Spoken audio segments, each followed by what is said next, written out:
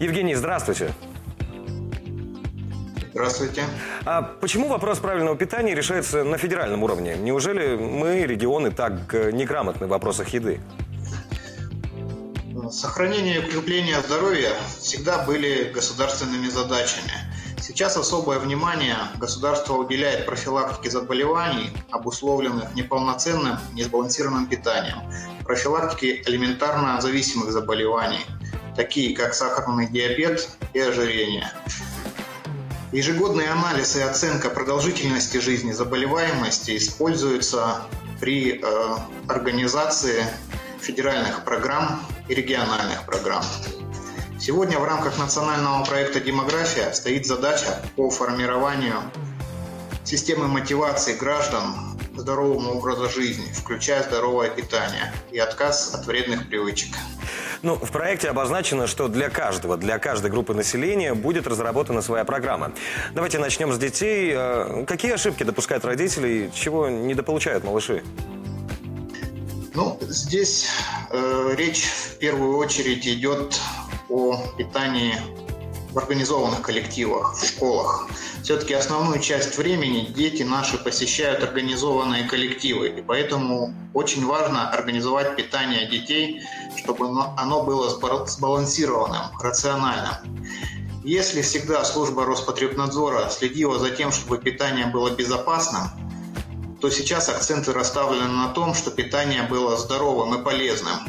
Если раньше при отборе проб пищевых продуктов лабораторных исследований определялись нормируемые показатели безопасности и по фальсификации, то сегодня акцент на том, что полезного есть в данном продукте, какая ценность продукта, есть ли там вещества, способствующие устранению микро... макро- и микронутриентной недостаточности, достаточно ли там белка, правильное ли соотношение с углеводами. Ну, а одна из самых уязвимых категорий – это пожилые люди. Какие сейчас есть проблемы в их питании и найдены ли решения? Одной из, одной из наиболее распространенных проблем при ведении пожилых пациентов является неполноценное питание, которое характерно практически для всех категорий людей старшего поколения, особенно проживающих самостоятельно. Например, наиболее часто наблюдается низкий уровень потребления белка. Низкое потребление белка и снижение физической активности способствуют потере мышечной массы и накоплению жировой ткани, что провоцирует дополнительные проблемы со здоровьем. Здесь, соответственно, уделяется внимание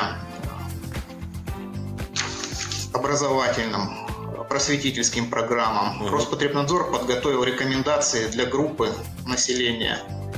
Мы доводим информацию через памятки, брошюры, через социальные медицинские учреждения, интернет-ресурсы. Ну, сейчас давайте вернемся к теме детей. А будущим мамам в женских консультациях будут помогать корректировать меню? Конечно, уделяется особое внимание питанию женщин не только во время беременности, но и в период лактации, кормления ребенка. По данным опросов, значительная часть, до 40% беременных женщин и кормящих матерей до 4-5 раз в неделю используют в питании колбасные изделия. Не менее трех раз в неделю беременные женщины употребляют острые блюда, соленые, копченые продукты. При этом свое питание расценивают как рациональное. Для всех характерно редкое включение в питание рыбы, не получают регулярные овощи и фрукты. Дефицит витаминов среди беременных и кормящих обнаруживается у женщин вне зависимости от сезона года и места проживания. А для спортсменов тоже разработаны рекомендации, ведь хотя эти люди о правильном питании должны знать все. Но на что советуют обратить внимание активным людям? Нужно понимать, что физиологические процессы и реакции в организме осуществляются путем расходования энергии. Основное правило для спортсменов – это обеспечение энергетического равновесия. При употреблении энергии с пищей должно соответствовать энергетическим тратам. Люди, также выполняющие физические упражнения, должны помнить, что водный баланс поддерживается при употреблении при потреблении и выводе из организма равных количеств воды.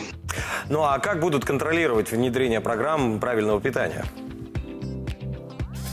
Следует отметить, что органы контролируют прежде всего соблюдение обязательных требований, соблюдение рекомендаций – дело добровольное. Мы несем только просветительскую функцию. Что касается организации питания в организованных коллективов, то здесь, конечно, остаются плановые и внеплановые проверки при наличии на то оснований. Ну что ж, благодарю вас за комментарий и всего доброго.